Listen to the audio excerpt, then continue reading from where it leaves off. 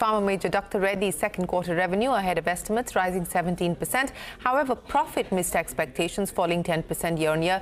Vinnii is standing by with more on its performance. Vinnii.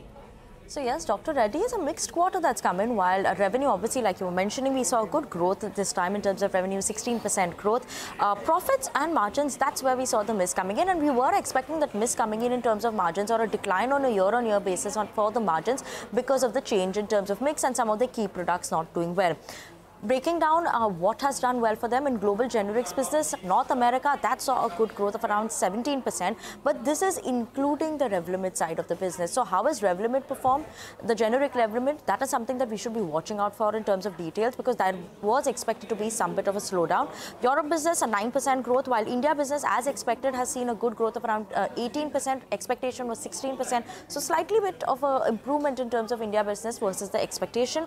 Emerging markets too saw a good growth of 20%. So generic business, they managed to see a good growth, while the pharmaceutical service side business and the API business, that's seen a growth of 20%. So that's the breakdown coming in. Margins, as expected, a bit under pressure this time. All right, Vinnii, many thanks for joining us.